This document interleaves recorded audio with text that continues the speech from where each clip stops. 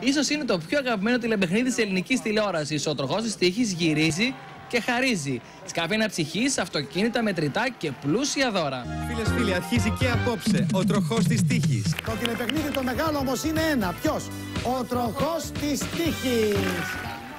20 χρόνια πριν ο Γιώργος Πολυχρονίου δημιουργεί σχολή με τον παθιασμένο τρόπο που επικοινωνεί με τους τηλεθεατές. Ε, έχουμε μια μικρή διαφωνία σχετικά με το γέλι θερμοσύμφωνο, αλλά τι να κάνεις, ήταν οι εποχές περίεργες. Το ΤΑΦ υπάρχει δύο φορές 20. Η κοπέλα που ανοίγει τα κουτιά και χαϊδεύει νοχελικά τα ψυγεία και τις κουζίνες ονομάζεται Κρίστα, εάν δεν θυμάστε καλά. Δάνης Κατρανίδης.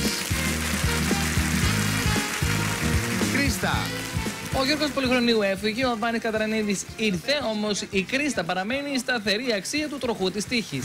Καλό απόγευμα, καλό ήρθατε στο τροχός της τύχης. Γεια σας. Το πάνω ή κάτω προβλήθηκε από τη συχνότητα του Αντένα 20 ολόκληρα χρόνια πριν, με παρουσιαστή τον Άλκης Στέα.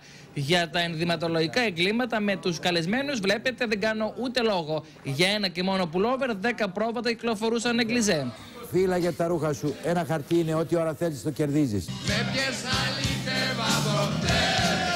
φόρα μπήκαν στη συγνότητα του αντένα ο αξέχαστος Βλάσης Μπονάτσος και η Ανίτα Πάνια. Αφού άφησε στην άκρη τα παντρολογήματα και σταμάτησε να μπάφει τα κουφέτα χρυσά, το έριξε στο καραόκε παρέα με διάσημους καλεσμένους. Τώρα θα τους ρωτήσουμε τους άντρες εάν η φαλακρή είναι σεξι. Και κάνω τώρα την εξής φιλοσοφική ερώτηση. Περάσατε καλά εδώ! Ο Μίλτος Μακρυδής, άγνωστο γιατί ντυμένος γαμπρός, αναζητούσε τον καλύτερο που θα κέρδιζε τους 149 παίχτες. Και στο τέλος τα έφευγε με μερικές χιλιάδες δραχμές στην τσέπη. Κάποιοι ακούστηκε ένα «Γεια!» τέτοιο.